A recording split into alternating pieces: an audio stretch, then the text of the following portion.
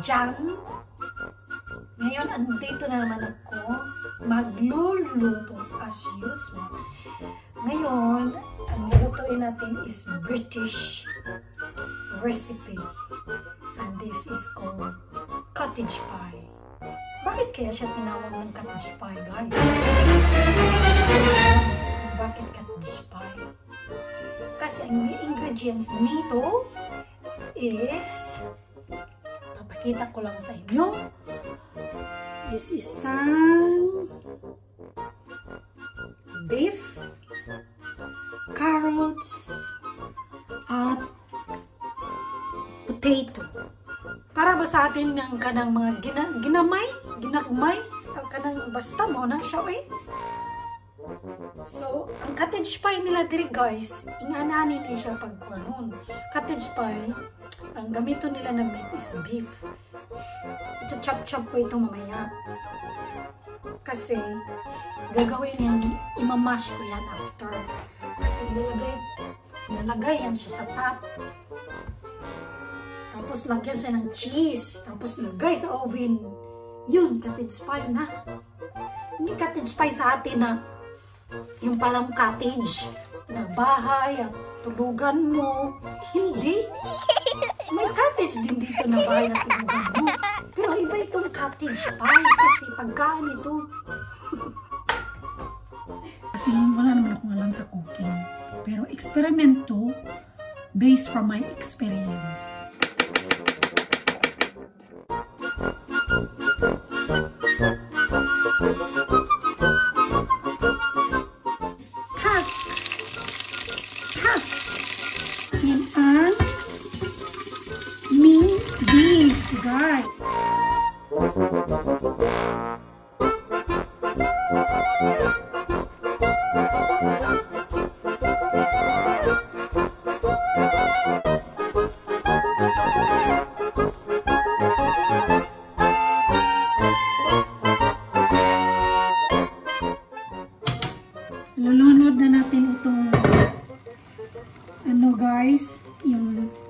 Spread lang natin siya dyan. Lagyan natin ng tubig.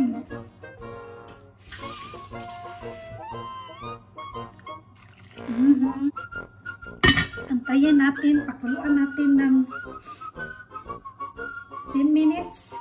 Madala, madali lang naman ito maluto. Meron akong ipapakita sa inyo guys meron akong ipapakita sa inyo. Ito siya guys. Ito. Dito sa England, nire-recycling itong mga waste. Kuha yan ng, ng compost. Parang nililibing nila yata yan. Sa atin, sa England, ay sa Pilipinas, ang ating mga pagkain na leftover, binibigay natin sa, ano, sa mga, sa baboy. Yung baboy dito na sa special somewhere lang man, hindi ka man, yung mga farmer lang may, nagmamayari ng baboy. Doon sa atin, kung sino-sino lang, kung sino-sino lang magmamayari. Dito hindi ka pwedeng mag, magbuhay. Oh! It's Evie there! Hey! I got visitor! I got visitor, it's Evie!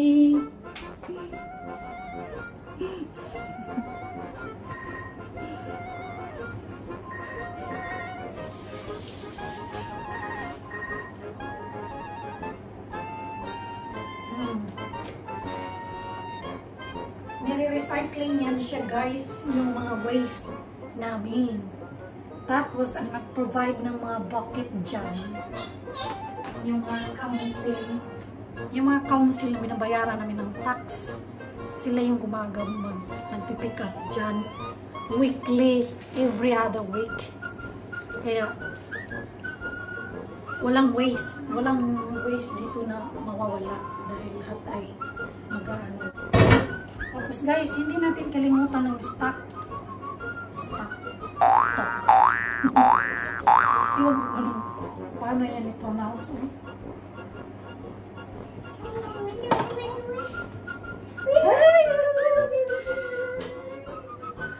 She's very cute. Halo haluin muna natin, guys.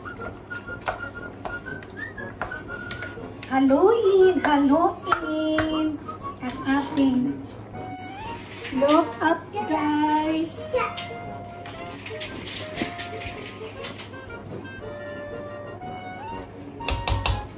Ipa-brown lang natin siya dyan. Notion ito sa chika-chika ko sa inyo last time.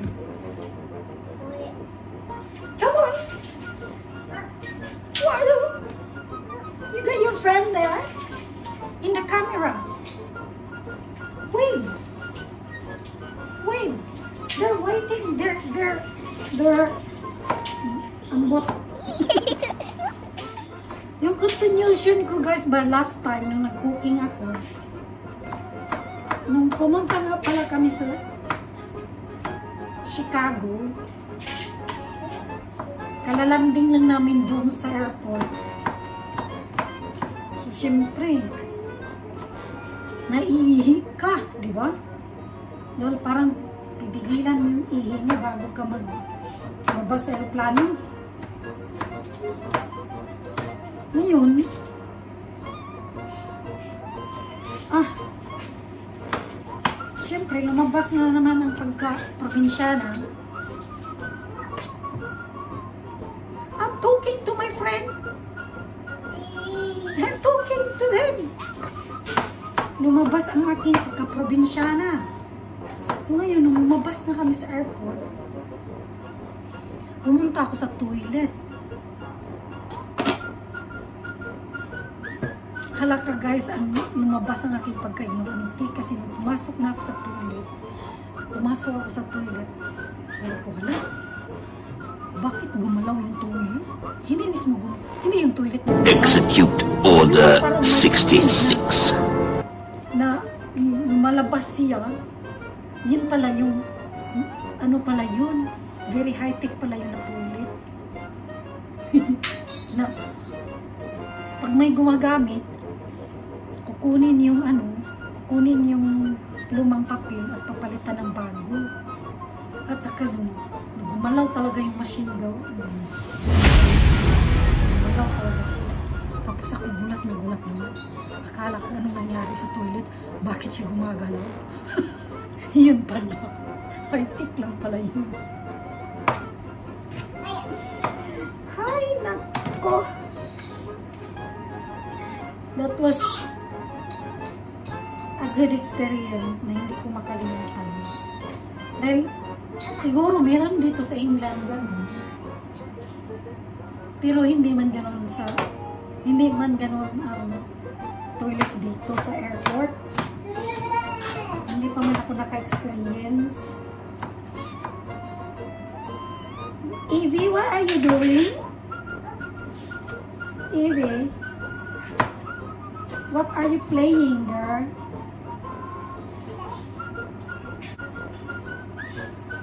Guys, kumukulo na ang ating ano? Ang ating cottage pie. Kumukulo na siya.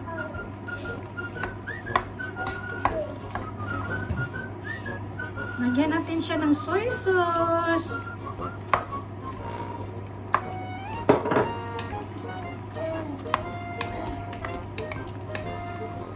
Oyster sauce. Bana banaon na na siya, guys. Okay. Tomato puree.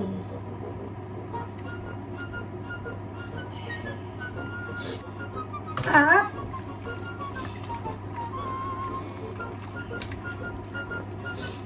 tikman.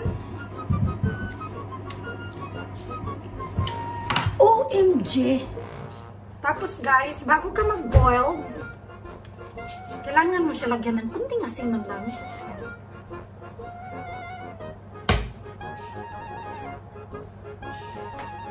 Ngayon, ilagay natin ang ano ko, ito siya sa oven.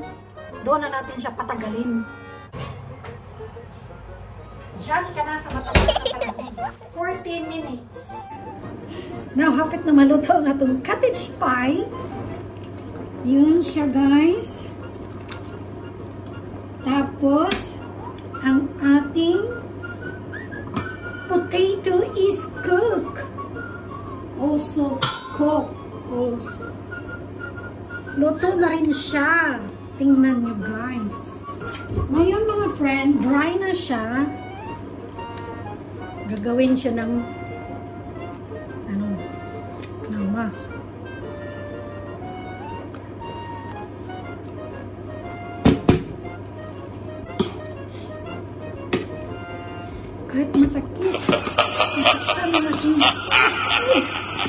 Sige pa dahil.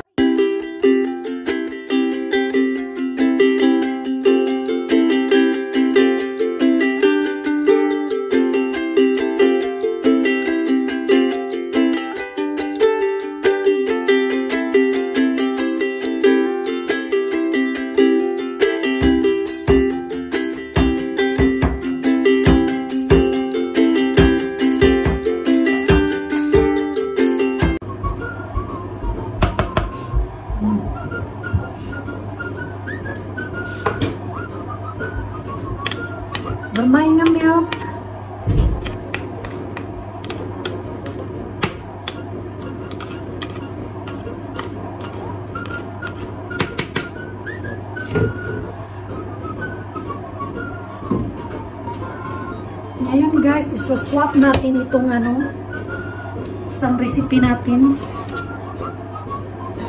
Ah, tingnan nyo guys. Tingnan nyo, tingnan nyo. Ang mangyayari nito, i-drain natin ito. Medyo puti dyan siya. Tanawa akong buhat. Pakita na ko sa inyo.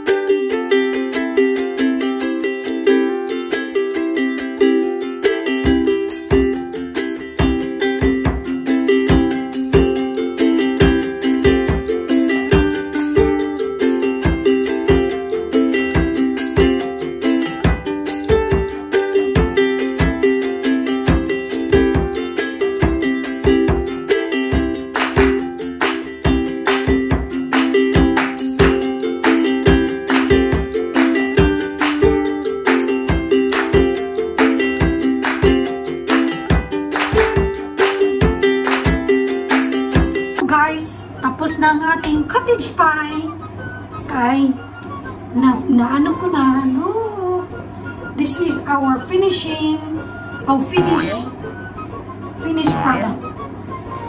Ilalagay pa ito ng oven mamaya. Para ready to eat. May cottage pie! Para siyang mahal. Alright guys, thank you for watching. Hope you're enjoying and you've learned something. Bye!